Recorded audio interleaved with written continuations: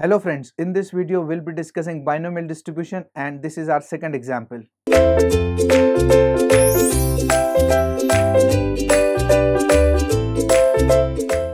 Let's have a look on the given problem. For a binomial distribution, if mean is 3, that means NP is equal to 3 and this condition is given 15p x equal to 0 is equal to twice p x equal to 1 Find probability at x equal to 5 and variance.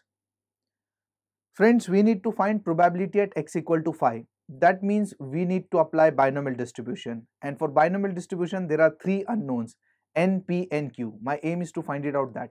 First, mean is equal to 3. This is given in the problem. And we know in binomial distribution, mean is np. np is equal to 3. This is given. I'll be using this condition for getting the values of n, p and q. 15p x equal to 0 equal to twice p x equal to 1. This is the condition given.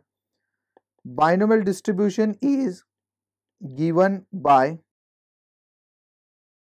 x equal to x, nc x, p raised to x, q raised to n minus x. Let's use this formula. Let us put x equal to 0 in this particular formula. Therefore, 15, let us substitute x equal to 0 in the formula. NCX, x is 0, p raised to x, q raised to n minus x and x is 0 which is equal to twice into p x equal to 1 that means in place of x I am going to put 1 nc1 p raised to 1 q raised to n minus 1 friends you need to remember this as a note very important.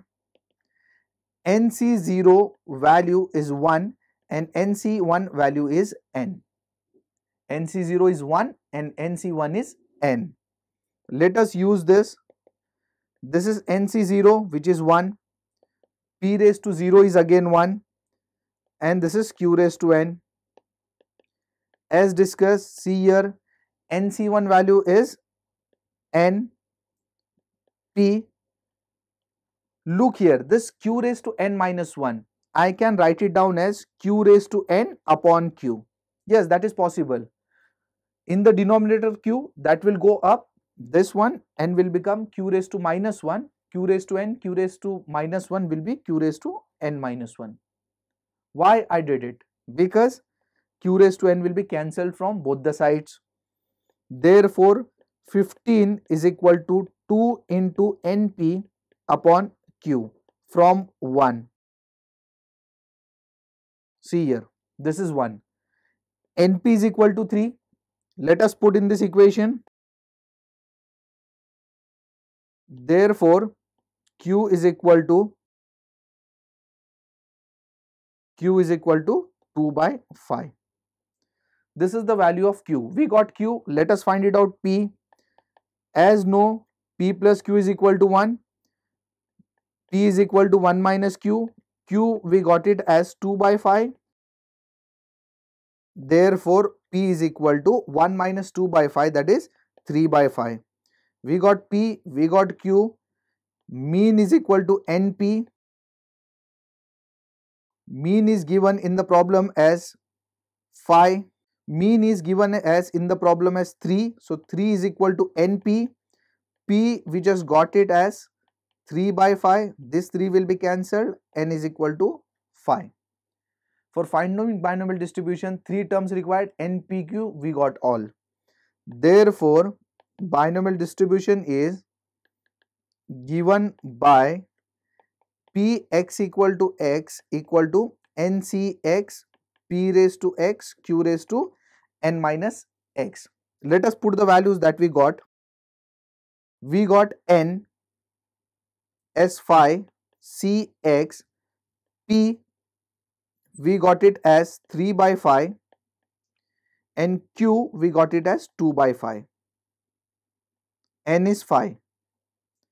This is the binomial distribution. Let us check in the problem what is asked. It is asked to find probability at x equal to phi and variance. Put x equal to phi for the first part. If you put x equal to phi, we'll get probability at phi. That is phi c phi 3 by phi raised to x. Here x is phi 2 by phi raised to 0. If you simplify this in calculator, you will get the result as 0.07776. This is the probability at x equal to 5. First part of the solution is done. One more term is asked that is variance. The formula for variance is N, P and Q. N we know as phi, P we do have P as 3 by 5, we already got Q as 2 by phi. Variance is 6 by 5. So we're done with the problem. Hope you understood. In the next videos, we'll discuss some word problems. Thank you.